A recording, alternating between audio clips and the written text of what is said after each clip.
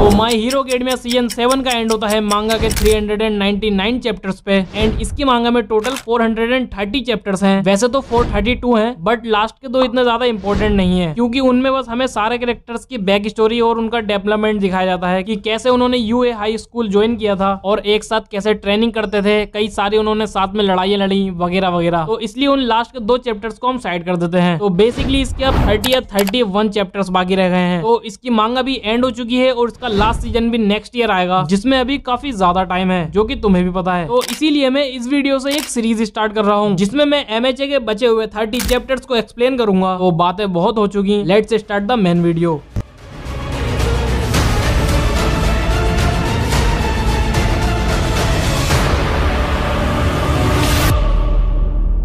video start करने से पहले मैं तुम्हें एक बात बताना चाहूँगा। मैंने इस पूरी वीडियो में ऑल फॉर वन को वन फॉर ऑल बोल दिया है तो थोड़ा एडजस्ट कर लेना।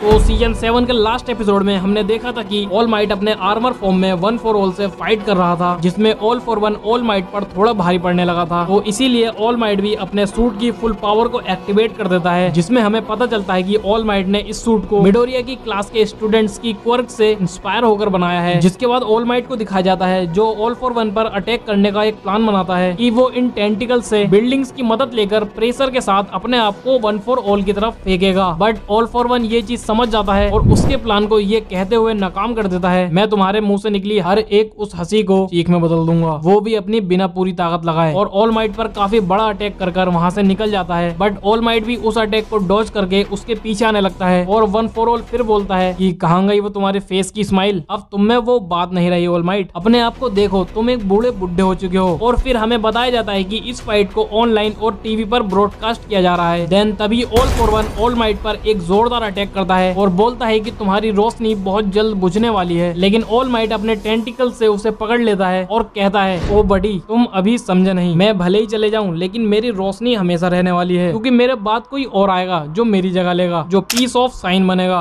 एंड हमें दूसरा सीन दिखाया जाता है, जिसमें हमें एक कुनेडा नाम का विलन दिखाया जाता है, जिसने ओयोमा और फेडगम को पकड़ रखा था। कुनेडा एक सीरियल किलर था, जिसकी क्वर्क है पेड़ पौधे उगाना, लेकिन ह्यूमंस के अंदर से। देन वो ओयोमा से कहता है कि तुम एक कमज़ोर गद्दार हो जो एक बेल्ट के बिना अपने क्वर्क को सही से यूज़ तक नहीं कर सकता। और फिर वही ओयोमा अपने फ्लैशबैक में जाकर अपनी फैमिली के बारे में सोचता है और वहाँ से मोटिवेट होकर आता है और एक बॉलीवुड के हीरो की तरह एक पंच लाइन मारता है कि तुमने मुझे एक गद्दार कहकर मुझे मेरे सारे पापों की याद दिला दी और ये चीज़ तुमने बहुत ज़्यादा गलत की। और ये कहकर ओयोमा एक काफ़ी बड़ा अटैक करता है और बेल्ट ना होने की वजह से उसका लाइटनिंग अटैक डिफरेंट डायरेक्शन में जाने लगता है। बट वहाँ एंट्री होती है इनविजिबल गर्ल की, जो उस लाइटनिंग अटैक को उस विलन पर रिफ्लेक्ट कर देती है और यहाँ हमें फाइनली इनविजिबल गर्ल को पूरा रिवील कर दिया जाता है। हाँ पूरा का पूरा। दूसरी तरफ़ ऑल माइट भी अपने हरकुलेस जो इसके सूट का सिस्टम है, जैसे आयरन मैन का जारविस है, वैसे ही इसके सिस्टम का नाम हरकुलेस है। उसे कमांड देकर वन फोर ऑल पर एक काफ़ी बड़ा अटैक करवाता है और फिर से हमें अयोमा और इनविजिबल गर्ल को दिखाया जाता है, क्यूँकी ओयोमा के इतने बड़े अटैक को रिफ्लेक्ट करने के बाद इनविजिबल गर्ल की इनविजिबल होने वाली पावर गिलिच करने लगती है, जिसकी वजह से वो पूरी तरह इनविजिबल नहीं हो पा रही थी। और उधर ऑल माइट बिना रुके हरकुलस से वन फोर ऑल के ऊपर लेजर मारने को कहता है। बट इंजन ओवरहीट और बैटरी ज़्यादा ना होने की वजह से लेजर हल्की होने लगती है और वन फॉर ऑल उस गड्ढे से बाहर आने लगता है। लेकिन ऑल माइट ईयरफोन जेक की क्वर्क यूज़ करके, उस पर साउंड वेव से अटैक करके, उसको दोबारा अंदर कर देता है और कहता है, यार, ये लोग कितना ज़्यादा बोलते हैं फाइट के बीच में। भले ही मुझे तुम्हारे उस पन से चोट लगी हो, भले ही मेरा आर्मर आधा टूट चुका हो, लेकिन इसका ये मतलब नहीं है की मैं हार चुका हूँ। देखो मुझे, मैं तुम्हारे सामने अभी भी ज़िंदा खड़ा हूँ। बट तभी उस लेजर में से एक ब्लैक कलर की लाइटनिंग बाहर आती है और उसे रोकने के लिए ऑल माइट दोबारा अटैक करता है, लेकिन इस बार वो फेल हो जाता है। और ये पूरी फाइट टीवी पर दिखाई जा रही थी, जिसमें सभी लोग ऑल माइट के जीतने के लिए प्रेयर कर रहे होते हैं बट ऑल फॉर वन बाहर आ जाता है एंड वो अब और भी ज़्यादा छोटा हो चुका है, जिसके बाद दोनों आपस में भिड़ने वाले होते हैं बट अचानक ऑल फॉर वन रुक जाता है एंड वहाँ एंट्री होती है हमारे हीरो क्लर स्टैन की।